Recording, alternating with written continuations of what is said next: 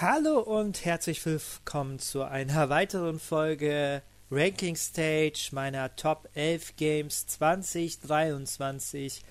Und ja, wir sind, wir nähern uns langsam der Top 5, aber erstmal fangen wir an mit meinen Plätzen 7 und 6.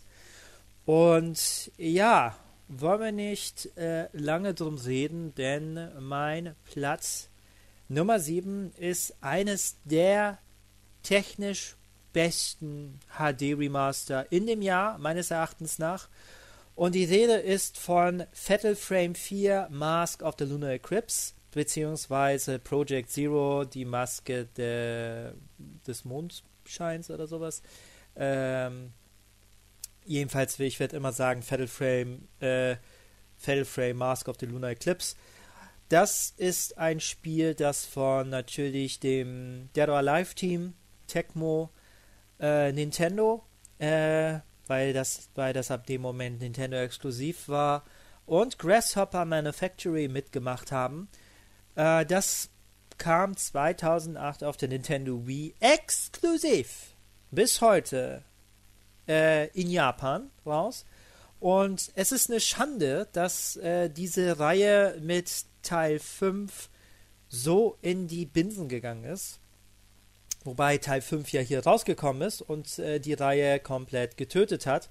Und ich denke mir einfach nur so, ja, schade. Denn ähm, Fatal Frame, die Fatal Frame-Reihe zeichnet sich dadurch aus, äh, das ist vollkommen japanischer Geisterhorror. Also das ist jetzt nicht irgendwie brutaler Horror, Action-Horror. Da muss schon auf diese quasi Ästhetik ein bisschen stehen. Da fliegen halt Geister dir äh, in die Linse und äh, dann kämpfst, dann fotografierst du sie ab. Ähm, die Atmosphäre spielt dabei und die Atmosphäre, Lichtstimmung und natürlich noch die psychische, kranke Darstellung von japanischen Horrorfilmen. Ähm, ähm, ja, die ist halt Teil dieser Atmosphäre. Und Fatal Frame 4 wird meistens gehandelt als der zweitbeste Teil in der Reihe, wenn ich mich richtig entsinne, denn der beste wird immer noch gehandelt Fatal Frame 2, äh, Crimson Butterfly, den ich zum Teil damals gespielt habe, aber keine großen Berührungen mehr mit Fatal Frame habe, weil natürlich äh, es ist ziemlich immer wichtig, damals und wie heute auch, äh, äh, ja, Werbe, die Werbekampagne bzw. ein bisschen Vermarktung zu machen. Und am Anfang des Jahres, irgendwo im März, äh, kurz, kurz vor dem Release von Resident Evil 4 Remake, wurde halt Fatal Frame 4 Mask of the Lunar Eclipse einfach so gedroppt. Äh, und da wurde das schon natürlich mit einem Trailer beworben und leider nur in der digitalen Form. Und ich dachte so, nee, dieses Spiel will ich tatsächlich physisch haben und diese physische Variante gibt es halt nur in der asiatischen internationalen äh, ja, Verpackung und sie ist fantastisch. Äh, daran zu kommen ist natürlich eine ganz andere Sache. Da muss man natürlich den Händler seines Vertrauens haben. Äh, aber dass das Spiel hier für satte 60 Euro angeboten wird, für einen für einen Titel, der über zehn Jahre einfach nicht vorhanden war äh, für den europäischen Markt und quasi eine Reihe ist, die nicht jedem sofort irgendwie ein Begriff ist, äh, ist das natürlich ein harter Schlag, aber für die Technik, die sie da geboten haben, ist einfach fantastisch. Ähm, da ich damals natürlich das Original nicht gespielt habe, beziehungsweise nicht meine Wii besaß, äh, ist für mich Fatal Frame 4 eine sehr interessante Erfahrung. Äh, man spielt hier diese Ryuka, Ryuka, ne? Hieß sie? Äh, lalala, äh, Ryuka, ne? Ja.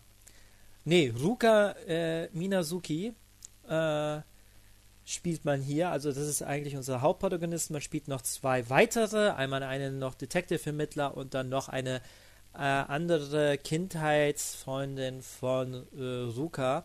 Und es geht darum, diese Mysterien äh, auf dieser Insel, wo sie damals als ja, Propheten für den Mondschein, ähm, äh, also für die Mondpriesterin, ähm, ja, da sein sollten. Äh, da ging ziemlich kranker Scheiß ab und äh, Ruka wird zu dieser, ähm, ja, das sind halt, ja, natürlich sehr gut aussehende Menschen, ähm, alles natürlich Top-Mädels, natürlich Brustphysik, wie soll es anders sein? Tecmo muss es machen.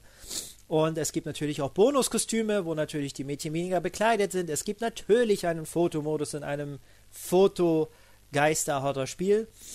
Und äh, die Stimmen, äh, die Stimmen der Vergangenheit rufen alle die vergangenen Kinder dahin. Zwei davon sind bekanntermaßen wieder äh, sind, sind erschienen und äh, sind erschienen als Todesopfer, wo ihre Gesichter vollkommen verformt waren. Und die Frage stellt sich natürlich, hm, hat das irgendwas mit der Vergangenheit zu tun?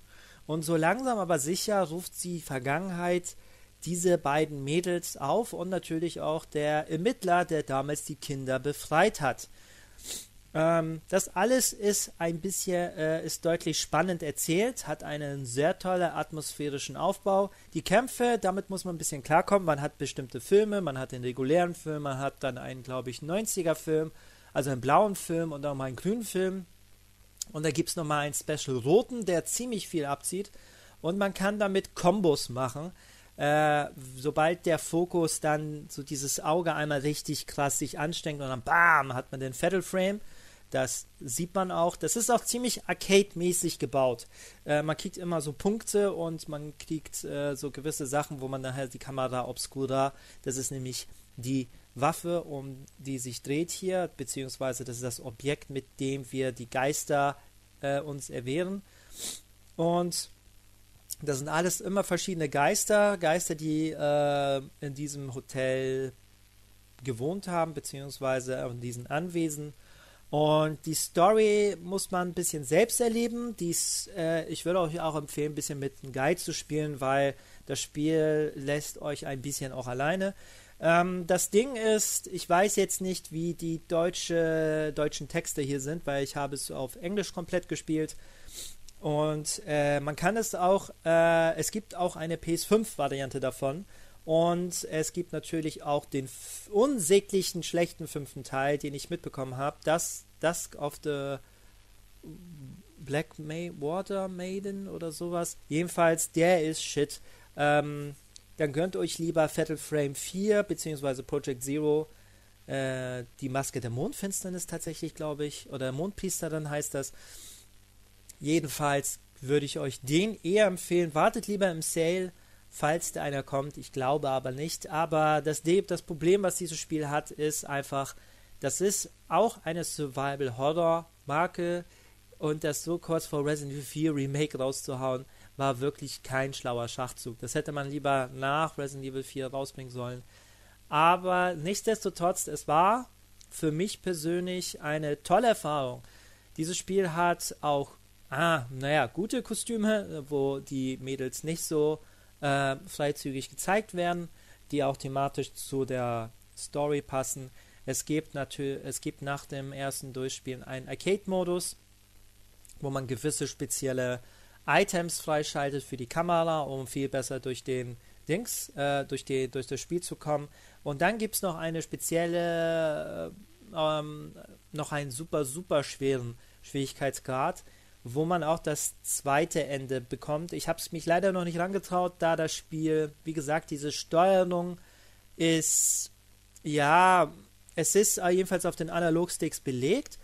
Ähm, die, die technische, grafische Seite ist natürlich toll. Okay, die Tür, nicht alles ist Gold, was glänzt bei Fatal Frame, aber für ein 2008 gemachtes Spiel für die Wii U, äh, für die Wii, ähm, das ist schon echt krasser Shit. Also da merkt man schon, dass Tecmo äh, richtig gute, äh, richtig gutes Zeug äh, drauf gehabt haben.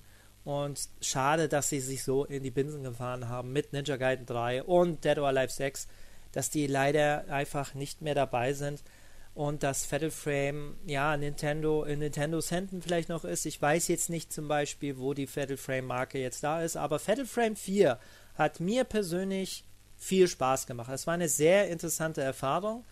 Äh, man ist so quasi 14, 14 bis 15 Stunden unterwegs je nach Schwierigkeitsgrad und äh, die Checkpoints sind ein bisschen, ja, relativ fair belegt, muss man sagen. Äh, ich kann euch da, ich kann das jedem empfehlen, der so ein bisschen Interesse hat an einer anderen Survival-Horror-Erfahrung, die einzigartig ist und die, äh, ja, die total ihre Daseinsberechtigung hat. Und ich würde das gerne mit ein, in einer neuen, in einem neuen Teil sehen, mit einer, mit einem neuen Art Design, neuen Style und so weiter. Denn ähm, die ganze Thematik, die dort ist, äh, man muss den Boss nämlich mit einem Musikstück besiegen, das man Stück für Stück lernt. Und äh, die ganze Vergangenheit und wie das aufgeklärt wird, klar, man gruselt sich jetzt nicht so heftig, also man pisst sich jetzt nicht so ein, sage ich mal so, aber diese grauenhafte Atmosphäre bringt das wirklich gut bei. Es ist, wie gesagt, sehr stark an japanischen ähm, folklorischen äh, Horror angelehnt und das muss man sich schon, äh, da muss man sich schon drauf einlassen. Sonst ist das Spiel für einen ziemlich nichts. Man muss auch ziemlich viel lesen. Man muss, man kann auch sozusagen Bonussachen machen, aber so in dem Sinne, äh, ja, das Spiel kann auch ziemlich schwierig sein. Äh, man muss auch ein bisschen klarkommen, wie gesagt, mit der Steuerung der Kamera und wie die Charaktere, wie gesagt, äh, du steuerst Charaktere, das sind ganz normale Mädels, die jetzt nicht rumrennen. Äh, das sind Mädels, die äh, ja ganz langsam rennen und so weiter und so fort. Das ist halt, ja, das ist nun mal so, das ist das Design des Spiels. Ähm, die einzige andere Kampfmechanik ist halt mit dem Ermittler, den man spielt, der mit einer Taschenlampe agiert und die wird auch natürlich storytechnisch auch gut erzählt, denn er wird nämlich beauftragt von der äh, Mutter von Ruka äh, mit der Lampe sie zurückzuholen. Das ist eigentlich seine Aufgabe und ja, er hat aber auch eine starke Verbindung zu diesem Fall und da hat er natürlich noch eine eigene Rechnung sozusagen noch zu begleichen und das ist ziemlich äh, interessant. Äh, ich muss sagen, das war eines der interessantesten Spiele dieses Jahr 2023 und das technisch beste Remaster, weil ja, okay, nicht alles ist flawless. Wie gesagt, manche Türen, äh, Tür, Tür äh, Türen sehen nicht so geil aus und so weiter und so fort. Aber für ein Spiel, was von 2008, was sonst bei Charaktermodell, Lichtgestaltung, äh, beim Sound muss man ein bisschen aufpassen, da wird manchmal ein bisschen zu laut, aber das trägt natürlich zur Stimmung bei. Sonst insgesamt ist das technisch äh, wirklich eines der besten Remaster. Da hat man sich wirklich hingesetzt, um das für die neuen äh, technischen Konsolen wirklich gut aussehen zu lassen. Die Charaktermodelle sind wahnsinnig super. Ähm, und äh, wer sich darauf einlassen kann, wird, äh, wird damit einen wirklichen Spaß haben. Fatal Frame 4, äh, The Mask of the Lunar Eclipse oder wie es hier heißt, äh, Project Zero, die Maske der Mondpriesterin, glaube ich. Äh, ich hoffe, ich habe es richtig gesagt. Ja, 60 Euro ist ein harter Preis. Äh, versucht euch doch vielleicht die asiatische internationale Version zu holen. Da müsst ihr euch natürlich einen chinesischen Account machen um die PS5-Variante zu holen, weil das gibt es leider nur physisch äh, für die PS4. Das ist nämlich ein Cross-Plattform-Titel. Ähm, äh, wenn ihr aber euch bequem seid und euch die deutsche Version holen wollt, also mit dem deutschen Texten, das wird nämlich immer in der, im O-Ton gesprochen auf Japanisch. Ähm, ja, dann kann ich euch, ich kann das euch, ich kann das demjenigen empfehlen, der interessiert ist an einer anderen äh, Spielerfahrung und einen etwas anderen Horroraspekt, den man so lange nicht mehr gesehen hat. Und ich würde mir wünschen, dass das heute ruhig neben Resident Evil etwas geben kann wie das hier. Alles klar, das wäre mein Platz Nummer 7 und kommen wir zu Platz Nummer 6. So, kommen wir zu Platz Nummer 6 und das ist eines der, ja, größten Fighting Game Releases dieses Jahr. Das kam nämlich am September, glaube ich, raus. Und die Rede ist von Mortal Kombat 1. Ja, Mortal Kombat 1, wo es angekündigt wurde, ich war skeptisch bis auf die Knochen. ich dachte mir so, wieso macht man nochmal ein Reboot? Es wurde die ganze Zeit verkauft mit, ja, a new timeline, äh, ja, und, äh, und so weiter und so fort, obwohl wir einen Liu Kang sehen, den man aus Teil 11 kennt. Ja, Charaktere, die neu interpretiert werden sollen. Und ja, ich als Mortal Kombat-Fan war ziemlich skeptisch, wie äh, das nächste Kampfspiel von NetherRealm Studios überhaupt sein sollte, denn Ed Boon hat eigentlich gesagt in einem Interview, dass sie was anderes mit der Mortal Kombat-Marke machen wollten nach Teil 11. Und ja, nach dem großen Hackmack mit ja, Warner Brothers, äh, bestimmte Abteilung von Warner Brothers, die in der Verhandlung standen und nicht wusste, wo NetherRealm da in, mit drin gehangen hat und so weiter und so fort. Mittlerweile ist das dann fertig. Und Mortal Kombat 11 ist ja für mich eines der Mar ihr Magnum Opus, äh, das Resultat aus über schon, sagen wir, 30 Jahren, äh, knapp über 30 Jahren, äh, ja, Videospielgeschichte und das kulminiert halt in Mortal Kombat 11 mit einem wahnsinnig tollen Abschluss. Klar, das wurde mit Aftermath nochmal ein bisschen aufgebrochen.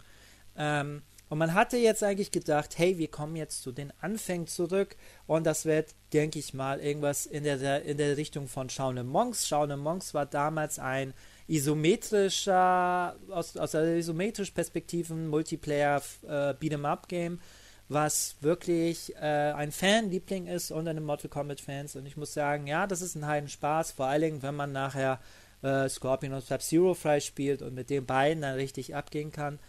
Ähm, Tja, Pustekuchen.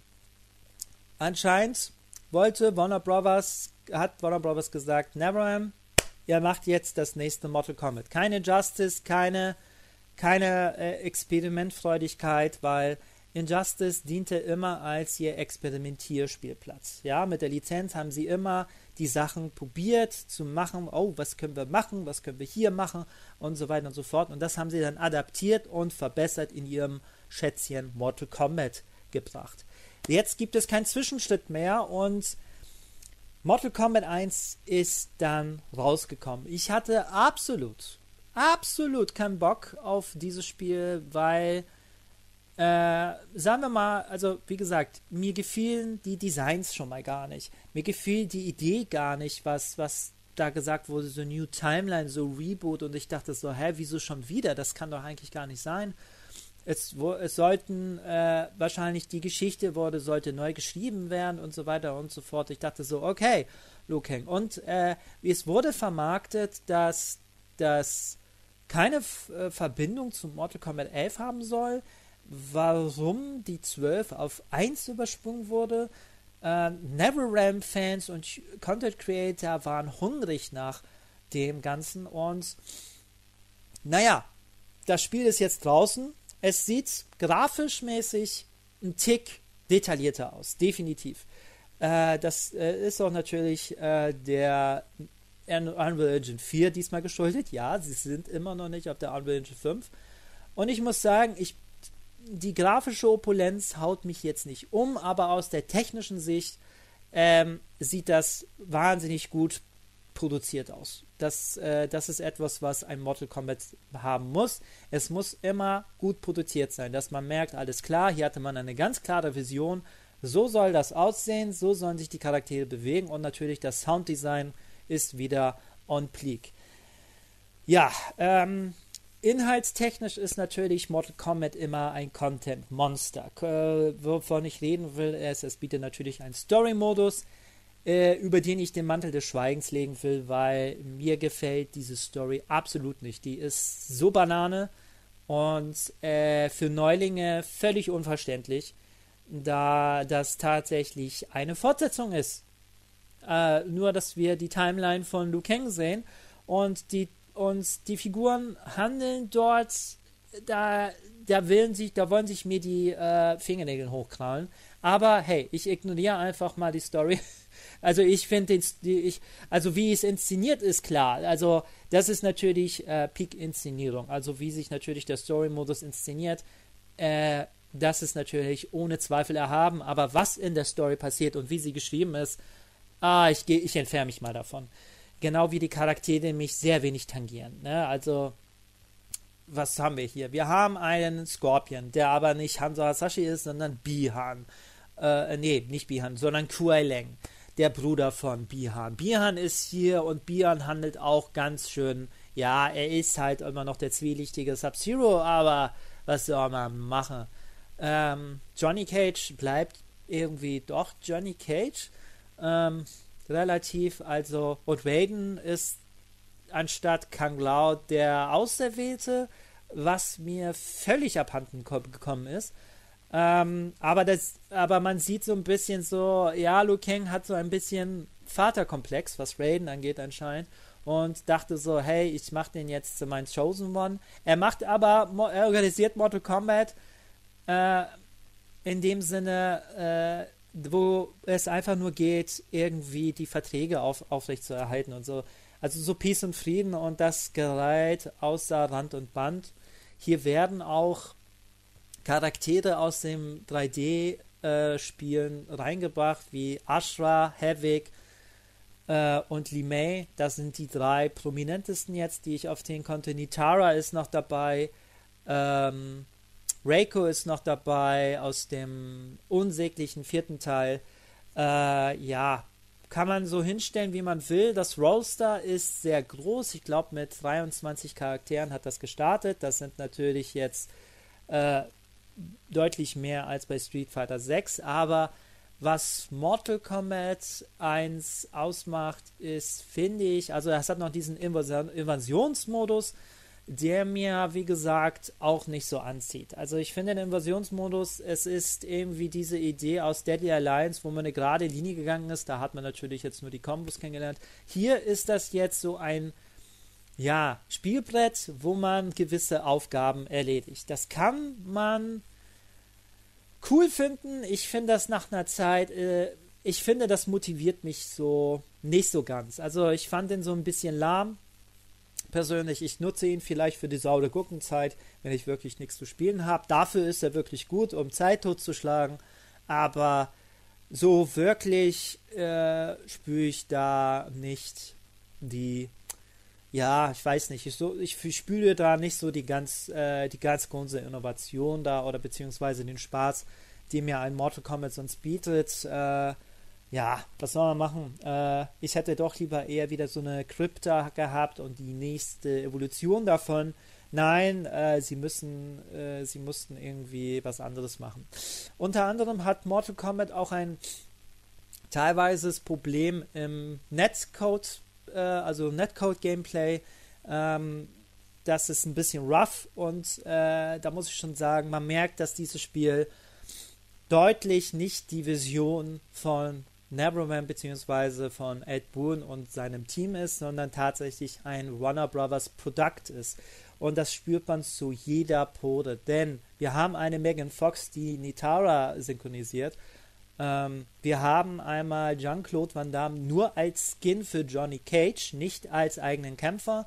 Und äh, ja, und dann haben wir noch so äh, gewisse Sachen wie Monetarisierung und äh, ja, sofort, na, ich würde nicht sagen so Free-to-Play-Allüren hier, aber äh, davon ist Street Fighter 6 auch nicht gescheit. Äh, das will ich nur mal sagen, weil die DLC-Politik ist ziemlich hart. Äh, 12 Euro für, es war also zum Anfang dieser Feiertags-Fatality für Halloween, der hat 12 Euro gekostet. 12 Euro für ein Fatality, den du maximal dir zwei, dreimal anguckst und dann vielleicht nie wieder, äh, weil die Wirkung nachher nachlässt. Äh, und ich finde, die sind danach zurückgerudert und es gibt massighaftig Kleidung und Farbpaletten.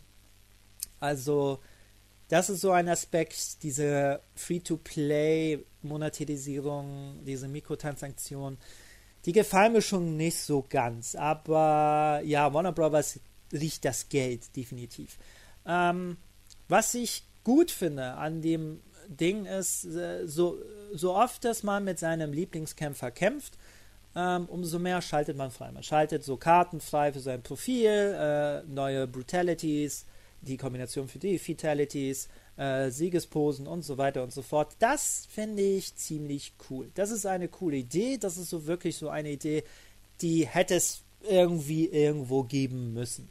Was ich definitiv sehr begrüße und das ist der Grund, warum ich dieses Mortal Kombat tatsächlich irgendwo gut finde, ist das Gameplay. Das Kampfsystem beruht nämlich auf äh, eine weiter, eine, eine, ja, einen neuen Spin, eine neue Art von Gameplay, die wirklich, wo die Charaktere viel mehr drauf haben als im Elver und äh, nicht mehr so kalkuliert sind durch den Aspekt, dass man jetzt die Cameos hat. Bei den Cameo-Fightern hat dann alle, äh, oder wie gesagt, das ist der größte Kritikpunkt, äh, die die Fans haben, also da spalten sich die Geister. Die Cameos haben sie äh, wirklich gut eingebracht. Ich dachte zuerst, ach, das ist jetzt wirklich nur noch Killer Instinct äh, cross dem System von King of Fighters 2001 beziehungsweise also dem Assist-Mode von 2000. Äh, und äh, da habe ich mich ein bisschen geirrt. Klar, Combo-lastig ist es hier, aber definitiv. Also man merkt so, das hat King of, äh, das hat Killer Instinct Allüren, aber lange nicht so extrem. De, also definitiv Mortal Kombat 1 baut auf Kombos. Kombos, Kombos, Kombos, Kombos und die Kontrolle von einem Kämpfer, da die Charaktere wirklich viele Möglichkeiten haben, jetzt durch die Cameos und die Cameos sind alle, bieten eine ganz neue Strategie aus. Da sind äh, Cameos, äh, ja, die nutzen sie wahrscheinlich, äh, werden wahrscheinlich genutzt, auch um Charaktere ranzubringen, die vielleicht später nicht als volle Kämpfer ins Spiel schaffen. Äh, die haben sogar auch eigene Fatalities, eigene Brutalities und ja, das ist alles sehr nett und sehr cool, das macht Spaß.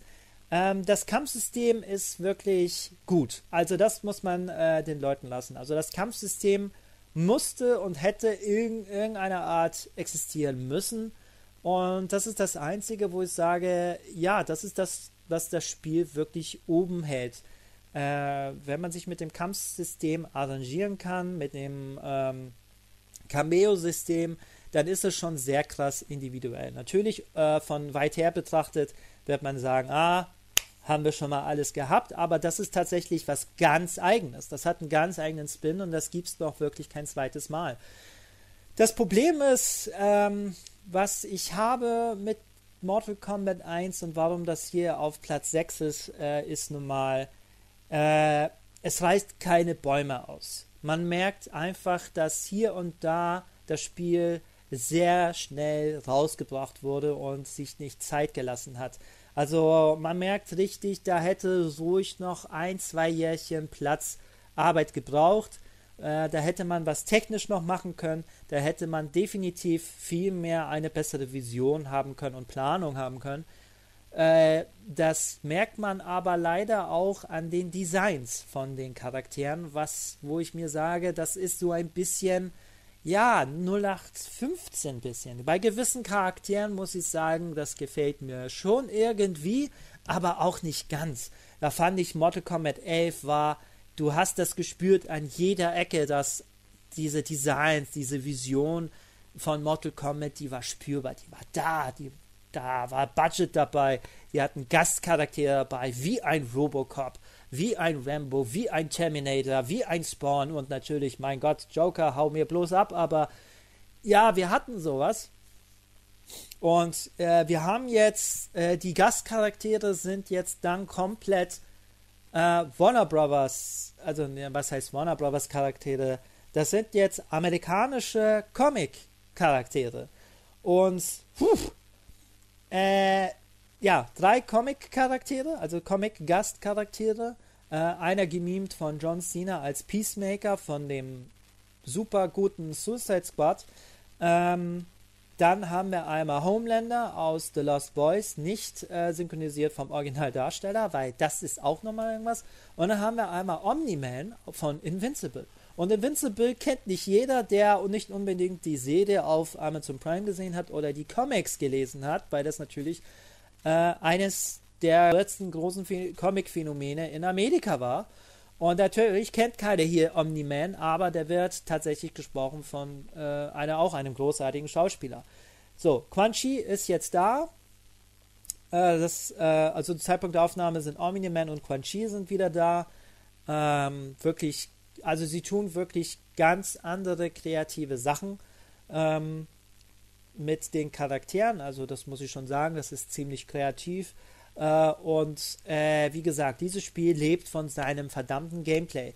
Was das Netcode angeht und Online-Gameplay äh, ist rough ein bisschen, aber wer sich darauf einlässt, kann vielleicht Spaß haben. Ich nutze es nur, um mit meinen Freunden ein bisschen Spaß zu haben. Ich sehe nicht das Mod, also Mortal Kombat 1 im Gesamten, auch das Marketing, das fühlt sich alles so, das hat sich alles so richtig falsch angefühlt, denn die wird ein Reboot verkauft, was kein Reboot ist, sondern eine tatsächliche, es ist Teil 12, Punkt. Es ist Mortal Kombat 12 und da wurde nur eine 1 draufgepackt, damit das verkauft wird mit der Timeline und hast du nicht gesehen. Und das ist so, ich habe auch Ed Boon lange nicht mehr so in der Marketingkampagne so wenig gesehen und dass er irgendwelche Wörter in den Mund nimmt, wo ich mir sage, das hättest du niemals gesagt.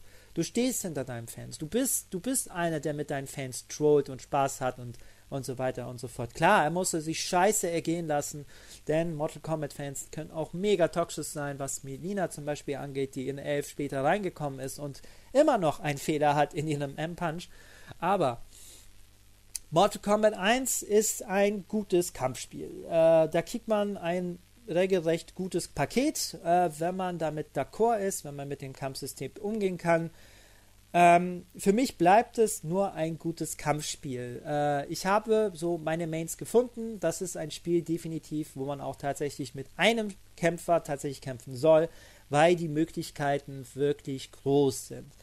Ähm, es gibt natürlich auch ein paar Problemchen, ein bisschen was die Kollisionsabfrage ein bisschen angeht, aber ansonsten ist es ein gutes Kampfspiel, was aber deutlich von einem äh, von einem Street Fighter 6 und natürlich einem Tekken 8 deutlich überschattet wird, weil es unbedingt rauskommen musste.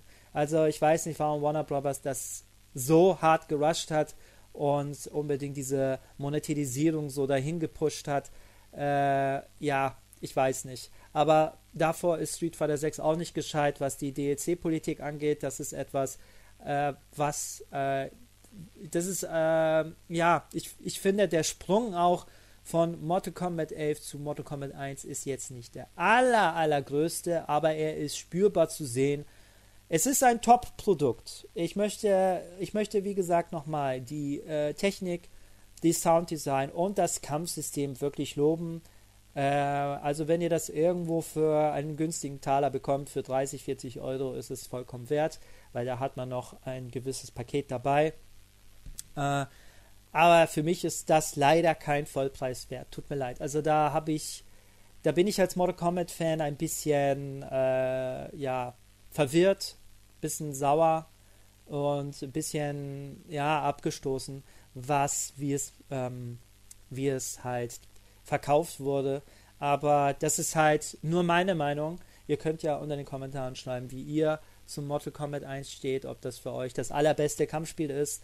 Äh, es war, das ist auch das erste Mortal Kombat, weil natürlich Mortal Kombat 11 sich so verkauft hat. Das ist das Mortal Kombat, was äh, am meisten, ja, äh, die gespaltenste Meinung je hatte. Es gab eine ganz klare deutliche Meinung bei Mortal Kombat 11 und es gab auch ganz klare Meinung bei Mortal Kombat X und Mortal Kombat 9. Aber hier streiten sich wirklich die Geister und ich kann es verstehen, denn dieses Spiel hat nicht die Flawless wie ein Mortal Kombat 11 und das muss sich auch leider damit messen. Trotz alledem, es ist ein gutes Kampfspiel, mehr aber auch nicht. Wenn man jetzt kein Mortal Kombat Fan ist oder äh, nicht auf diese Art von Fighting Games steht, dann sollte man einen Bogen drum machen. Äh, auf jeden Fall, aber wer, alle, wer alles Interesse hat an dem Spiel und ja, wie gesagt, es ist kein leichtes Kampfspiel, definitiv nicht. Ähm, das Spiel verlangt von dir gewisse äh, Aufmerksamkeit. Ja, es hat Tutorials auch, es erklärt dir das Kampfsystem, aber ich finde, in einem Weg, der viel zu komisch ist, jetzt, deut jetzt merkt man auch nach den Patches, dass gewisse Kombos auch nicht mehr gehen in den Tutorials, wo man denkt so, äh, Leute, das müsste eigentlich umgestellt werden. Das sind so ein paar Sachen. Äh, wie gesagt, ich weiß nicht, was Narum da reitet, aber ja, ich weiß nicht, wie die, äh, ja, die Hardliner sind äh, geteilter Meinung. Äh, manch, äh, die meisten kritisieren das Cameo-System, denn man kann tatsächlich kein One-on-One machen. Aber das Cameo-System ist nun mal integraler Bestandteil des Kampfsystems und wer sich damit nicht arrangieren kann, ja, der hat dann leider verloren. Ähm, ja. Jedenfalls, Mortal Kombat 1 ist ein eines, ja, der zweitgrößten Kampfspiele in dem Jahr 2023. Ein solides Produkt, äh, mehr aber auch nicht. Es geht einfach nicht mehr darüber hinaus. Davon hat Street Fighter 6 um einiges besser gemacht, meiner Ansicht nach. Aber das liegt vielleicht auch daran, da ich vielleicht äh, eine andere Sicht oder beziehungsweise Beziehung mittlerweile habe zu Street Fighter Mortal Kombat. Aber nichtsdestotrotz, äh, was Mortal Kombat 1 hervorbringt, es macht Spaß. Und wenn euch dieser Spaß, äh, wenn ihr an diesem Spaß interessiert seid, äh, kann ich es empfehlen. Aber wenn ihr jetzt, wenn ihr jetzt aber keine Fans von Mortal Kombat äh, oder Fighting Games seid oder jedenfalls dieser Monetisierung oder diesem Cameo-System, tja, dann müsst ihr mal gucken, wo es ihr vielleicht Probe spielen könnt. Äh, auf jeden Fall wollen wir mal schauen, wie sich Mortal Kombat 1 halten wird. Ich sehe, äh, ich sehe nicht viel. Also ich sehe nicht Mortal Kombat 1 ziemlich hoch, aber das wird die Zeit zeigen. Alles klar, äh, ziemlich lang, ziemlich langer Monolog. Es geht natürlich um eines meiner Lieblingsserien, um eines äh, meiner Fighting Games, die mich zu dem gemacht haben, was ich heute bin. Ähm, und ja, es ist ein bisschen schade zu sehen, dass dieses Produkt nicht so äh, flawless ist und man spürt, dass das deutlich ein Warner Brothers Produkt ist. Also da gibt es so, wie gesagt, wie auch mit den Charakteren umgegangen wurde und die Designs, das ist so alles bla, so hm, Kommerz. Ich weiß nicht. Äh, muss gut sein, muss mir aber nicht persönlich schmecken, aber ich habe Hauptsache Spaß an dem Spiel. Alles klar. Das wär's mit meinen Plätzen 7 und 6 meiner Top 11 Games 2023. Wenn euch dieses Video gefallen hat, hinterlasst auch ein Like da und einen Kommentar. Und äh, ja, wenn euch nicht nur meine Ranking Stage gefällt, hinterlasst doch einen Daumen da und kommentiert fleißig, was eure Meinung zu den beiden Spielen ist.